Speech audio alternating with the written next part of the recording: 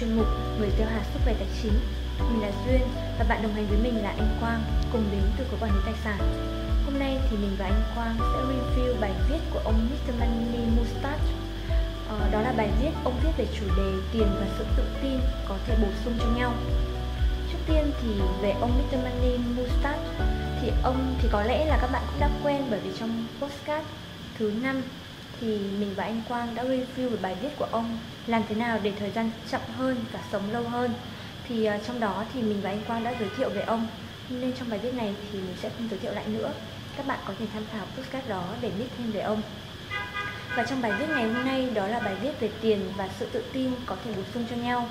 Và hầu hết trong các bài viết của ông thì đều nói về vấn đề tự do tài chính hay tài chính cá nhân thì chính qua những cái trải nghiệm trong cuộc sống của mình, thì ông đã đúc kết được sự quan trọng và mối liên quan giữa tiền và sự tự tin trong cuộc sống. Nhìn vào thực tế thì những cái trải nghiệm của ông, thì ông còn nói là từ khi mà ông còn bé, thì ông đã luôn có vấn đề về sự tự tin. Ừ, ông sợ phải tham gia những bữa tiệc sinh nhật khi, của những đứa trẻ khác và có quá nhiều người xung quanh. Và ông sợ những cái món ăn mới hay sợ bất kỳ điều gì mới hay tham gia một đội nhóm mới và ông phải mất rất là nhiều thời gian thì mới có thể trở nên cởi mở hơn để bắt đầu gặp gỡ với những cô gái ở trường trung học. Và chính những cái điều bất an này điều sự không tự tin vào cuộc sống như thế này thì đã hạn chế trên, trên cuộc sống của ông rất là nhiều. Nhưng cũng khá là may là ông cũng nhận ra sau đó 10 năm ông có tìm hiểu rõ nguyên nhân vì sao mà cuộc sống sau 10 năm ông mới nhận ra được điều đó. Thì nguyên nhân đó là gì hả anh Quang? À, nguyên nhân thì à, cũng khá giống như một trong những cái nội dung mà chúng ta đề cập trong cái podcast à, vừa ngay liền trước trước trước, trước trong tuần trước thôi à trong buổi buổi hôm trước là khi mà chúng ta giới thiệu cái cuốn sách về đánh thức sự phi thường trong bạn á chúng ta đã nói đến một cái nguyên nhân rất là quan trọng mà khiến cho à, con người ta sống và và và cái, cái kết quả của công việc cũng như cuộc sống nó bị dưới mức định à, dưới so với cái năng lực thực sự của họ. Thì nguyên nhân chính là là do cái niềm tin giới hạn. Họ thiếu sự tự tin mà có đầy nỗi sợ hãi trong cái đó. Tất cả là về niềm tin giới hạn thôi. Thì mình tin rằng là cái bài viết này của Mr. moonstar là một cái cái, cái sự tiếp nối và dẫn chứng minh họa rất là cụ thể cho những gì mà mà mà trong cuốn sách uh, đánh đánh thức sự vi thường trong bạn đề cập về niềm tin giới hạn mà cụ thể hơn thì ở đây là niềm tin giới hạn trong vấn đề tài chính đúng không ạ? Đúng rồi, cụ thể là trong vấn đề về tài chính là tác giả cho do là thiếu cái sự tự tin tức là nghĩ là mình không thể làm được những cái việc như là bình thường mà cứ phải nghĩ là là cứ phải có thật nhiều tiền thì mới làm được. Cái ngày như là có thật nhiều tiền mới thì mới có sự tự do rồi có tiền thì mới không còn lo sợ nữa. Trong trường hợp mà lỡ thất nghiệp thì có thật nhiều tiền thì nó sẽ không bị nguy hiểm trong những cái trường hợp như vậy rồi, vân vân vân vân, rất là nhiều thứ. Ý là cái chính là như vậy đó. Ừ. Và trong cái bài viết này của ông ấy thì ông cũng đã nhận ra được là khi mà thiếu đi sự tự tin thì ông sẽ cảm thấy là bất an trong cuộc sống. Và chính vì thế mà ông cũng biết điều đó, có thể là ừ, và ông đã nhận diện ra và nói với, tự nói với bản thân mình là không có gì phải lo lắng trên cuộc sống này cả. Ừ, nói, nếu nói về vấn đề là tài chính chẳng hạn, thì ông cũng, tức là ông là một người đã có cái ý thức để tự do tài chính sớm. Chính vì thế mà bây giờ ờ, chính vì thế mà đến khi mà ông viết bài này thì ông nhận diện ra rằng là khi mà tiền nó không phải là bao gồm tất cả cuộc sống. Khi mà ông tức là cái tiền mà ông làm ra thì ông cái mức thu chi thu mức chi tiêu của ông ấy luôn luôn thấp hơn cái số tiền mà ông cần. Chính vì vậy mà nó không ảnh hưởng quá nhiều đến cuộc sống của ông vậy nếu nó xét về vấn đề tài chính. À, vậy thì ông cũng đúc kết ra được những cái bài học hay những cái công thức rất là hay ở trong bài viết đúng không ạ? Đúng rồi, thì anh Quang chia sẻ với mọi người à, thì ờ, đầu tiên là cái cái đúc kết.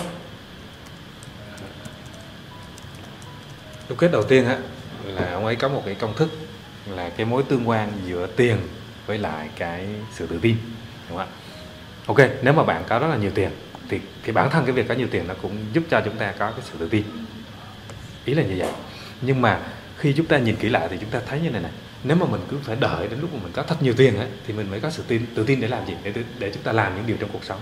Đúng không? Ví dụ nhiều khi là mình muốn là ok tôi có thể um, start một cái business gì đó. Đúng không ạ? À, nhưng mà vì lúc mà ban đầu tôi chưa có tiền thì tôi cứ sợ là ok tôi không có tiền thì làm sao tôi làm được cái đó? Nhưng mà các bạn. Nhưng trên thực tế khi mà tác giả nhìn lại cuộc cuộc đời của mình thì mới thấy là thật ra là nếu mà có sự tự tin lớn hơn thì lại không cần phải có nhiều tiền quá như vậy để mà có thể làm được những cái việc kia đó, cho nên là trong cái công thức ở đây ý tác giả muốn nói là ok bạn có thể có nhiều tiền để có sự tự tin làm những điều mình thích trong cuộc sống. Nhưng nếu là sự tự tin của bạn đủ lớn thì bạn không cần phải có nhiều tiền như vậy để bạn có thể làm được rất nhiều việc. Thì cái đó nếu mà chúng ta áp dụng trong cuộc sống chúng ta sẽ thấy thực tế như này này có những cái thứ mà lẽ ra chúng ta có thể làm được từ sớm hơn đúng không? Ví dụ như hạn mình rất yêu thích cái công việc đó mình nghĩ là làm công việc đó sẽ giúp được nhiều người đúng không? Thì hoàn toàn chúng ta có, nếu mà chúng ta có sự tự tin chúng ta hoàn toàn có thể làm được ngay nhưng nếu không có sự tự tin thì chúng ta lại phải chờ đợi. Ok chắc tôi phải tích lũy thêm năm 10 năm nữa. Tôi có nhiều tiền rồi tôi mới quay lại tôi làm những gì mình thích. Đó là thực tế cuộc sống nó là như vậy. Nhưng mà trên thực tế thì có lẽ là uh, mọi người đang có rất là nhiều nỗi sợ. Chính vì những cái nỗi sợ đó mà đang đang hạn chế cái sự tự tin của mọi người. Không có tự tin không được làm những điều mình thích không được sống theo ý mình. Lúc nào cũng và cái vấn đề tài chính thì khiến là có lẽ là tất cả mọi người ai cũng lo lắng đến vấn đề tài chính sợ không đủ tiền để làm cái nọ không đủ tiền để làm cái kia đúng không ạ? Vâng chính xác là như vậy. Và ông cũng nói đó là uh, sự tự tin thì có thể cho phép chúng ta thay đổi cuộc sống hiện tại và ngay lập tức thì sẽ không phải cần bất kỳ điều gì cả bởi vì mình chỉ cần sắp xếp lại những cái cảm xúc trong tâm trí mình. Tức là mình có sự tự tin thì mình sẽ làm được mọi thứ. Tức là cái cái, cái vấn đề ở đây là tác giả muốn nhấn mạnh là là phần lớn những cái thứ mình có làm được hay không trong cuộc sống này là xuất phát từ trong cái tâm trí mình cả. Trong cái điều mình suy nghĩ ấy ở đây là mình nói lại là chính là cái niềm tin đấy cái niềm tin giới hạn của mình thôi. Chứ nó lại không phải là những cái về vật chất hay là tiền bạc hay cái này kia.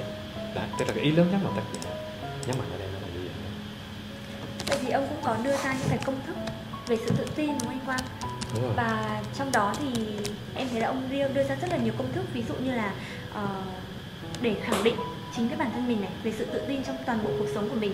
Ông có nói là tôi sẽ luôn có thể có một công việc nếu như mà tôi muốn đúng không ạ? Đúng rồi. Và ông cũng nói là có rất là nhiều người trên thế giới trên cuộc sống này họ sống mà chi tiêu rất là thấp hơn giản dị. giản dị rất là nhiều hơn so với ông. Và ông cũng hỏi chính mình là bí mật của họ là gì? Ừ. cái cái bí quyết là cái cái vấn đề là ở đây cái điểm hay ông cũng nhấn mạnh luôn là mặc dù là họ tiêu ít tiền hơn nhưng mà hạnh phúc hơn hạnh phúc hơn hạnh phúc nhiều hơn. Và ông ông có một cái ý cái công thức nữa của ông mà ông có nói đó là trong khi mà ông không thể kiểm soát được cái thì, toàn bộ cái thế giới ông không thể kiểm soát được toàn bộ thế giới nhưng mà ông có thể kiểm soát được chính mình. Đúng rồi chính đó xác. và điều đó thì cũng có thể quyết định nên cái sự hạnh phúc của ông. Và còn gì nữa anh? Ừ, đồng thời là ý muốn nói là thực ra là với bất kỳ cái mức thu nhập nào mình cũng có đều sống tốt được hết. Miễn là mình có khả năng kiểm soát được cái chi phí của mình đúng không? Ok tôi làm lương cao thì tôi có thể tiêu được nhiều nhưng mà nếu mà lương tôi không cao như vậy thì thật ra tôi vẫn sống tốt mà. Tôi chỉ cần kiểm soát cái chi tiêu của mình là là cũng là ok rồi. Đấy, và thêm một cái nữa là nhiều khi là người ta sợ chuyển đổi công việc không biết là liệu có làm được hay không cái này kia vân các loại đúng không? Nhưng mà tác giả muốn nhấn mạnh một điều rằng là tôi luôn có thể học được những điều mới những cái kỹ năng nào mà tôi cần học cái mới để tôi có thể thích nghi được công việc mới mà mà tôi thích hơn tôi hoàn toàn có thể làm được việc đó mà không có vấn đề gì phải lo lắng được cả tức là khi mà ông tự tin thì ông dám dám ra ngoài dám vượt khỏi cái vùng giới hạn của bản thân để đi học những cái điều mới Chính để thay đổi những cái công việc mà nó đã quá nhàm chán ừ. để tìm những sự mới mẻ trong cuộc sống à nói đến đây em mới nhớ đến nó có một cái mô hình của các cái vòng đó. đúng không đầu tiên là người ta thông thường là người ta rất hay nằm trong cái vòng comfortable zone cái vòng an toàn ừ. Đấy, và khi chớm ra khỏi cái đó phát là người ta chặn ngay vào cái vùng sợ rất nhiều người sợ đấy bản thân anh cá nhân anh cũng thấy là đúng là có những lúc mình cũng bị bị bị kẹt trong cái cái cái vòng sợ hãi của mình. Và xung quanh nhiều người của mình cũng như vậy. Thì lúc đó cái cách giải quyết là như nào? Nếu mà người ta sợ quá người ta sẽ quay ngược lại cái vòng an toàn đúng không? Còn nếu mà họ dùng cảm ơn họ sẽ vươn ra một cái vòng tiếp theo nó gọi là cái vòng học tập. Đấy, và trong cái vòng học tập đó, chính là tác giả vừa nói mình luôn luôn có thể tự tin mình học được những cái điều mới để mà thích nghi được. Và khi mà qua được cái vùng học tập đó, thì mình sẽ đến cái vùng gọi là vùng trưởng thành và mình lên một cái nấc thang mới. Và cuộc sống nếu mình làm được như vậy thì mình luôn luôn có một cảm giác hạnh phúc hơn. Và tôi thành công tôi vượt qua được chính mình. Rất là quan trọng. Và ngoài ra thì cái sự tự tin thì ở đây thì ông cũng nói là trong vấn đề tài chính thì thực tế mọi người đi du lịch thì mọi người thích hưởng thụ đúng không? Nhưng mà đôi khi thì mình đi du lịch mình không cần phải quá xa xỉ mà mình vẫn có cái niềm hạnh phúc. Là do những cái mà mình suy nghĩ hay là cái tâm trí của mình kiểm soát và mình cảm thấy mình biết đủ ở đây là mình đã cảm thấy hạnh phúc rồi. Chính xác là như vậy. đúng. Ngoài ngoài cái vấn đề về tài chính về sự tự tin trong tài chính ra thì ông cũng còn nhắc đến cái sự tự tin trong cuộc sống hàng ngày đúng không anh Quang? Ừ, ừ, ừ ví dụ như là về chuyện ờ, con con cái của mình đi đúng không? Đấy thế thì ờ, rất là nhiều bố mẹ là không không dám làm những điều mình thích không dám vượt qua khỏi cái vùng an toàn. Chỉ vì là sợ là lỡ mình có chuyện gì thì thì thì, thì con cái của mình sẽ khổ đúng không? Thật ra đó là cái cái, cái suy nghĩ nó hơi quá thôi đúng không? Thật sự nếu mà mình có tình yêu thương với con mình đúng không? Mình hỗ trợ nó nó hiểu là mình hỗ trợ được đúng không? Và đôi khi nhé có thể cái sự thất bại của mình đã làm cho con mình có khổ nó lại trưởng thành hơn. Đúng không nó lại vươn lên chính đó. Chứ còn chính ra là như bây giờ mình ví dụ các bố mẹ Việt Nam mà bao bọc quá, có điều kiện bao bọc quá, chính ra lại làm cho con mình lại tệ hơn, lại phụ thuộc vào bố mẹ. Đó, ý là như vậy. Đó là một góc độ của cuộc sống. Rồi ngoài ra thì thì trong cái vấn đề khác là tác giả cũng có nhấn mạnh là gì?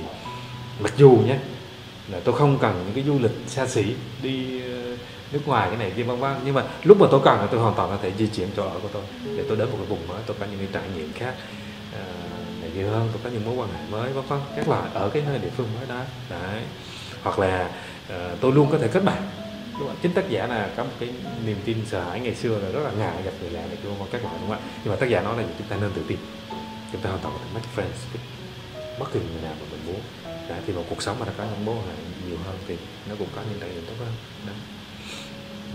và tác giả cũng muốn nói ở đây là cái vấn đề về tự tin và cái tức là mối quan hệ giữa tự tin và tiền ấy, thì cái mục tiêu thực sự mục tiêu cốt lõi cuối cùng là chúng ta để hướng đến sự hạnh phúc. Và ông luôn muốn tối đa hóa tối đa nhất có thể về cái sự hạnh phúc của mình và gia đình mình. Chính vì vậy mà ông không đặt nặng cái vấn đề tài chính ở đây.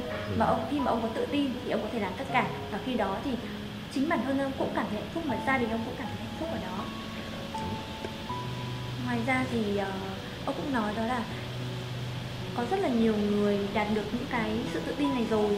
Và họ có ít lợi thế hơn ông. Ừ, trong khi đó thì ông lại có rất là nhiều lợi thế thì tại sao ông lại không có sự tự tin này để làm sớm? Chính xác. Đó, đó là những cái bài những cái công thức mà ông đã đúc kết được sau những năm. Mặc dù là khi tại cái thời điểm hiện tại mà ông nói ra thì ông đang có một chút gì đó gọi là nuối tiếc về tuổi trẻ của mình. Ừ. thì bây giờ là ông đúc kết ra.